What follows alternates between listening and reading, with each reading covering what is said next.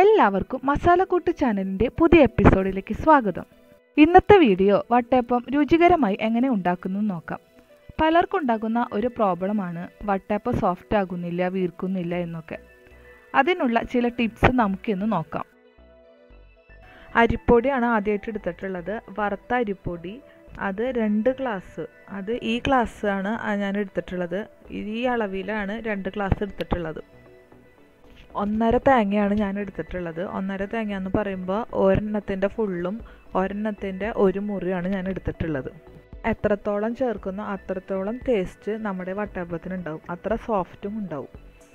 അത് നന്നായി ശ്രദ്ധിക്കുക ഗ്ലാസ് അളവിൽ നമുക്ക് അര കിലോന്റെ പൊടിയാണ് എടുത്തിട്ടുള്ളത് കേട്ടോ ഇനി അര ടീസ്പൂൺ ഉപ്പ് ചേർക്കാം.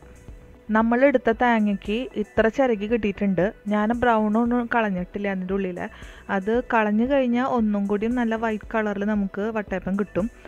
ഇനി നമുക്ക് പാൽ പിഴിഞ്ഞെടുക്കാം. പാൽ പിഴിയും പാൽ പിഴിയുന്നതിന് മുന്നേ കുറച്ച് തേങ്ങ നമുക്ക് മാറ്റി ഒരു ഗ്ലാസ് പഞ്ചസാര. അത് നമ്മുടെ ആവശ്യത്തിന് ചേർക്കാം. ഇപ്പം ഞാൻ ആദ്യം ഇടുന്നുണ്ട്. അത് കഴിഞ്ഞിട്ട് നമുക്ക് ആവശ്യത്തിന് ചേർക്കാം കേട്ടോ.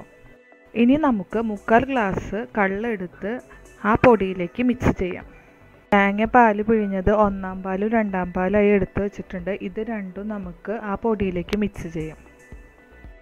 എന്നിട്ട് നന്നായി കൂട്ടിയെടുക്കാം.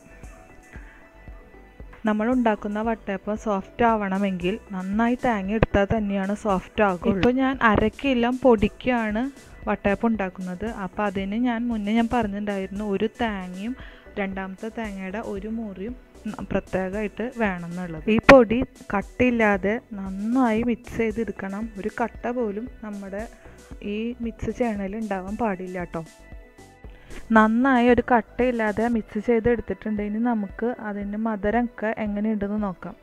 മധുരം കുറച്ച് കുറവാണ്. അപ്പോൾ നമുക്കത് അവിടെ വെക്കട്ടെ. എപ്പോൾ ഇടണ്ട. എല്ലാം കഴിഞ്ഞിട്ട് നമുക്ക് ലാസ്റ്റ് ഇടാം കേട്ടോ ഇനി നമുക്ക് ഈ മിക്സ് ചെയ്തത് കുറച്ച് നമുക്ക് ജാറിലേക്ക് ഒഴിച്ച് മാറ്റി വയ്ക്കാം ഇനി ഞാൻ പറയാൻ പോകുന്നത് രണ്ടാമത്തെ ടിപ്പാണ് ഞാൻ കുറച്ച് മുന്നേ നിങ്ങളോട് പറഞ്ഞിട്ടുണ്ടായിരുന്നു തേങ്ങ ചിരകി കഴിഞ്ഞത് കുറച്ച് പാൽ പിഴിഞ്ഞതിന് മുന്നേ മാറ്റി വെക്കാൻ വേണ്ടിയിട്ട്. ആ മാറ്റി വെച്ച തേങ്ങയും പിന്നെ ഞാൻ കുറച്ച് മുന്നേ പറഞ്ഞ ജാറിലേക്ക് ഒഴിച്ച് വെക്കാൻ അതും കൂടി നന്നായി മിക്സിയിലിട്ട് അടിച്ചെടുക്കുക. അത് അടിച്ചെടുക്കണത് നല്ലതാണ് നല്ല സോഫ്റ്റ് ആവും. മിക്സ് ചെയ്തത് ആ മാവിലേക്ക് ഒഴിക്കാം. അത് നന്നായി എന്നിട്ട് മിക്സ് ചെയ്തെടുക്കാം നമുക്ക്. നന്നായി മിക്സായി കണ്ടോ ഈ കൺസിസ്റ്റൻസിയിൽ നമുക്ക് ഈ വട്ടയപ്പത്തിന്റെ മാവ് ഇരിക്കണം. ഞാനെടുത്ത ഈ പാത്രത്തിൽ മാവ് വീർത്തു പോകും. അപ്പം ഞാൻ വേറൊരു പാത്രത്തിലേക്ക് കുറച്ചും കൂടി വലിപ്പമുള്ള പാത്രത്തിലേക്ക് ഇത് മാറ്റുകയാണ്. നേരത്തെ മധുരം കുറവുണ്ടായിരുന്നില്ലേ? അപ്പം നമുക്ക് ഇനി ഒരു അര ഗ്ലാസ് പഞ്ചസാര എടുത്തിട്ട് പൊടിച്ചിട്ട് അതിലേക്ക് മിക്സ് ചെയ്യാം. ഇപ്പം നിങ്ങൾക്ക് ഇത് പൊടിക്കണമെന്നൊന്നുമില്ല. ഞാൻ പെട്ടെന്ന് അരിഞ്ഞ് കിട്ടാൻ വേണ്ടിയിട്ട് പൊടിച്ചെടുത്തെന്ന് മാത്രം നിങ്ങൾക്ക് വേണമെങ്കിൽ പൊടിക്കാതെയും ഇടാം. ഇനി നമുക്ക് ഒന്നും കൂടി നന്നായി ഒന്ന് ഇളക്കി കൊടുക്കാം. മാവ് ഒന്ന് ആ പഞ്ചസാരയൊക്കെ ഒന്ന് സെറ്റാവാൻ വേണ്ടി ഒന്ന് ഇളക്കി കൊടുക്കാം. നമ്മുടെ മധുരം നല്ല കറക്റ്റായിട്ടുണ്ട് ഇനി നമുക്ക് ഒരു അഞ്ചാറ് ഏലക്കായ തൊലി കളഞ്ഞ് തൊലി കളഞ്ഞ് പൊടിച്ച് മാവിലേക്ക് ഇടാം. നമ്മുടെ മാവ് റെഡിയായി കഴിഞ്ഞു. ഇനി നമുക്ക് അടച്ചു വെച്ച് ആറ് മണിക്കൂർ വീർക്കാനായി വെക്കാം. നമ്മുടെ മാവ് നന്നായി വീർത്തുണ്ട് ഇനി നമുക്ക് വേവിക്കാനായിട്ട് തുടങ്ങാം. നമ്മുടെ മാവ് നന്നായി വീർത്ത് വന്നിട്ടുണ്ട്. ഇനി നമുക്കിത് വേവിച്ചെടുക്കാം. അതിനായിട്ട് ഞാൻ പരന്ന പാത്രത്തിൽ കുറച്ച് എണ്ണ പുരട്ടിയിട്ട് അതിലേക്ക് മാവ് ഒഴിച്ച് വെച്ച്. ഇഡ്ഡലി പാത്രത്തിലാണ് നമ്മൾ ഈ വട്ടയപ്പം ഉണ്ടാക്കുന്നത്. അപ്പോൾ അതിന്റെ മേലെ ഞാനൊരു പരന്ന പാത്രം വെച്ചിട്ടുണ്ട്.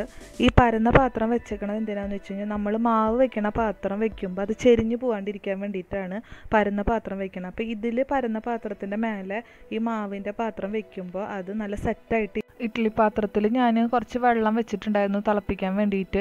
അതിന് ശേഷമാണ് നമ്മൾ മാവ് അതിന്റെ മേലെ വെക്കുക. അപ്പോൾ അത് ചൂടായി കഴിഞ്ഞിട്ടുണ്ട്. ഇനി നമുക്ക് മാവ് അതിലേക്ക് വെക്കാം. ഇനി നമുക്ക് ഈ മാവിന്റെ മേലെ കുറച്ച് കഴുകി വെച്ചിരിക്കുന്ന കറുത്ത മുന്തിരി നമുക്ക് അതിലേക്ക് ഡെക്കറേറ്റ് ചെയ്ത് വെക്കാം. അത് കറുത്ത മുന്തിരി വേണമെന്നൊന്നുമില്ല കേട്ടോ. നമുക്ക് ഇഷ്ടമുണ്ടെങ്കിൽ മാത്രം ചെയ്താൽ മതി. പക്ഷെ ഞാൻ ഡെക്കറേറ്റ് ചെയ്യാറുണ്ട് ഈ കറുത്ത മുന്തിരി വെച്ചിട്ട്. അതുകൊണ്ടാണ് ഞാൻ ചെയ്യണത്. ഇനി നമുക്ക് അത് അടച്ച് വെച്ച് വേവിക്കാം. നമുക്കൊന്ന് വെന്തോന്നൊന്ന് തുറന്ന് നോക്കാം. കുത്തി നോക്കിയപ്പോൾ അതായിട്ടുണ്ട്. ഇനി നമുക്ക് മാറ്റി വയ്ക്കാം അടുത്ത മാവൊഴിച്ച പാത്രവും നമുക്ക് അതിലേക്ക് വെക്കാം. ഡെക്കറേറ്റ് ചെയ്ത് വേവിച്ചെടുക്കാം ഇനി. അടുത്തതും വേവായി. ഇനി മാവിൽ കുറച്ച് ഇഡ്ഡലിയും കൂടിയും ഉണ്ടാക്കാം അതിനായി നമ്മുടെ ഇഡ്ഡലി തട്ട് എടുക്കുക അതിൽ ഈ മാവ് ഒഴിച്ചു കൊടുക്കാം. എന്നിട്ട് നമുക്ക് അതിൽ ഇതേപോലെ തന്നെ കറുത്ത മുന്തിരി കൊണ്ട് ഡെക്കറേറ്റ് ചെയ്തെടുക്കാം. നമുക്കത് അടച്ചു വെച്ച് വേവിക്കാം. ഈ ഇഡ്ഡലി നല്ല ടേസ്റ്റാണ് കേട്ടോ എല്ലാവരും ഒന്ന് ട്രൈ ചെയ്ത് നോക്കുക നമ്മുടെ ഇഡ്ഡലി റെഡി ആയി കഴിഞ്ഞിട്ടുണ്ട്. ഇനി നമുക്ക് അത് തണുക്കാനായി മാറ്റി വയ്ക്കാം വട്ടയപ്പവും ഇഡ്ഡലിയും എല്ലാം റെഡി ആയി കഴിഞ്ഞിട്ടുണ്ട്. നിങ്ങളെല്ലാവരും ഇത് ട്രൈ ചെയ്യുക. ഞാൻ പറഞ്ഞ ടിപ്സൊക്കെ കറക്റ്റായിട്ട് ചെയ്യാൻ നോക്കുക. എന്നാൽ നല്ല സോഫ്റ്റായിട്ട് നിങ്ങൾക്ക് വട്ടയപ്പമൊക്കെ റെഡി ആയി കിട്ടും കണ്ട. നല്ല സോഫ്റ്റായിട്ട് ഇരിക്കുന്നുണ്ട്. നന്നായി വീർത്തിട്ടുമുണ്ട് അതുപോലെ തേങ്ങ എടുക്കുമ്പോൾ പ്രത്യേകം ശ്രദ്ധിക്കുക. പറഞ്ഞ അളവിൽ തന്നെ എടുക്കണം.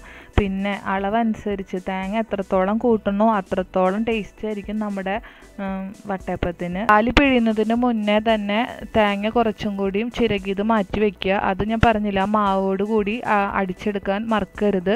അപ്പോൾ നിങ്ങൾക്ക് എന്റെ വീഡിയോ ഇഷ്ടപ്പെട്ടെങ്കിൽ ലൈക്ക് ചെയ്യുക ഷെയർ ചെയ്യുക സബ്സ്ക്രൈബ് ചെയ്യുക. ഇതുവരെയായിട്ടും എന്റെ ചാനൽ സബ്സ്ക്രൈബ് ചെയ്യാത്തവർ താഴെയുള്ള സബ്സ്ക്രൈബ് ബട്ടണിൽ ക്ലിക്ക് ചെയ്യുക. പുതിയ വീഡിയോകളുടെ നോട്ടിഫിക്കേഷനായി ബെൽ ബട്ടൺ ക്ലിക്ക് ചെയ്യുക.